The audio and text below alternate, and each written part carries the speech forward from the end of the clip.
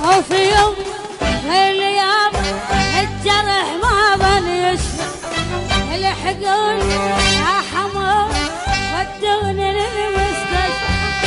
وفي يوم الأيام الجرح ما ظل يشفى الحقوني يا حمار ودوني.